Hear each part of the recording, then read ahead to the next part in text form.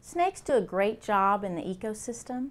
Uh, they really take care of a little vermin around your house, and those little vermin, like mice, uh, rats, can carry a lot of diseases, and so they do a good job of getting rid of those. They're also specialists that eat cockroaches and other bugs around your house, and even other snakes. So they do a good job of patrolling their territory and uh, taking care of the ecosystem, cleaning things up.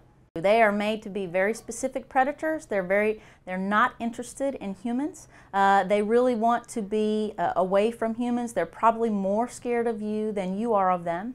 Uh, and uh, if a snake is given a chance, usually it's going to go the other direction from you. So you just need to give it a chance. There are lots of things that are studied about snakes that are really good. Uh, venoms from multiple animals, including snakes, are now used for human medicines. Uh, they have very good anticoagulants, things that keep blood from clotting in disease situations. And there are also some antibacterial effects. There are also some insulin type effects. So literally people that have diabetes now use some types of venoms uh, to control that diabetes. So there's a lot of uh, good medical uh, things that are coming out of venoms.